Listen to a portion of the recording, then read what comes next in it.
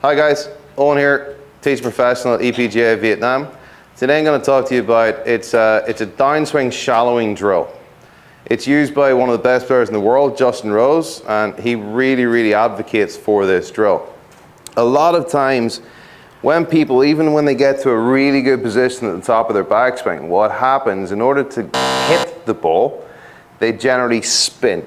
So as they spin, their right shoulder comes out, it gets high, and we can see that club really working over the top and outwards.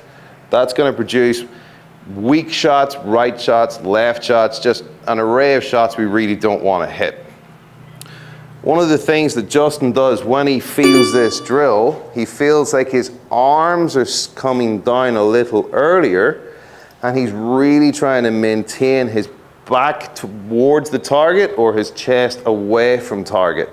That helps him feel that his body is more under control so at the bottom he can then really turn through the ball and get that club back on plane with a right swing path. So what we really need to feel is as we get to the top, feeling like those arms are coming down, that club is working a little more from around, from the inside, while not allowing our chest to kind of take over and get very, very fast.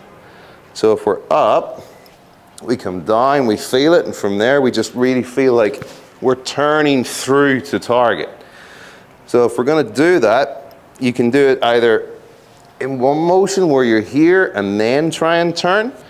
You can do it where you sort of feel like you're kind of pumping it down, really trying to emphasize that chest staying a little close for a little longer.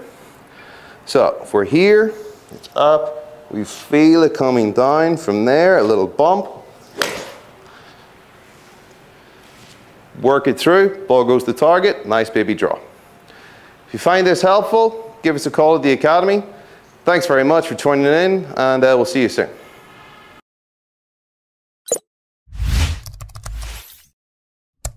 you